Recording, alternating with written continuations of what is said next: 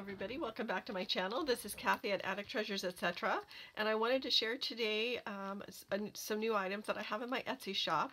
It is a, um, a collection of papers, both vintage and newer, as well as uh, some other uh, ephemera. So each cellophane pack contains 26 items and I'll go over with you what those what those items are so that so that you can see what's in them.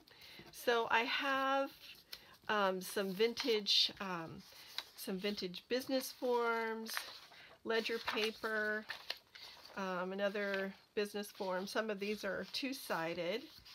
And then there's a little bit of graph paper, this uh, index card that's a ledger style, and then a piece of vellum. And they're all cut down to fit into a 9 by 6 cellophane pack. Then I also have uh, some of this really vintage uh, note paper.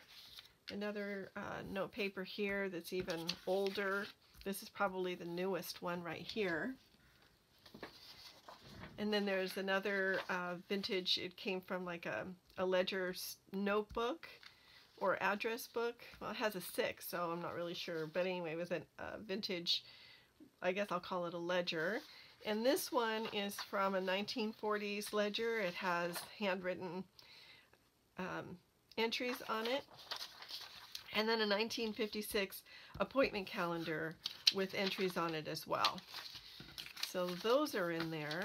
And then I have some vintage book page from, and all of these range from uh, 1892, which is this one, this little dictionary page. It came from this very old little dictionary.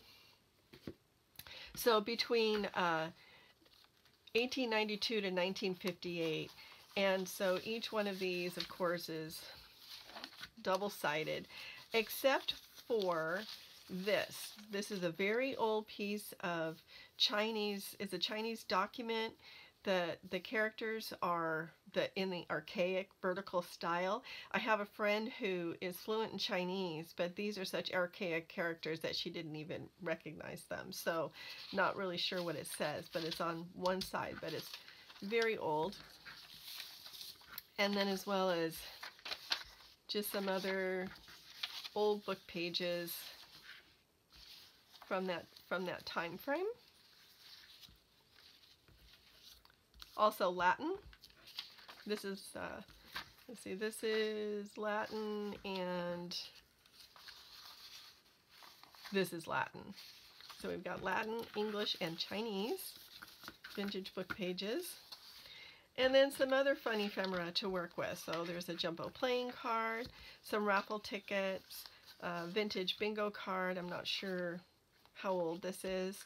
Um, a receipt with a carbon, a 1960s era Viewmaster reel, and then a slide, a transparency slide from the 1950s.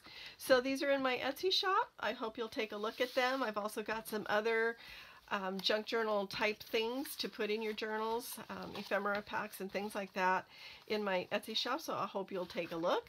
Thanks for watching.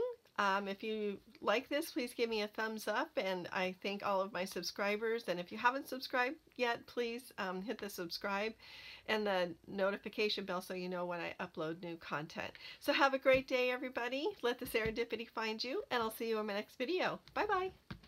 Oh, I meant to say that my um, Etsy shop, there's a link to my Etsy shop in the description. All right, everybody. Have a great day. Bye-bye.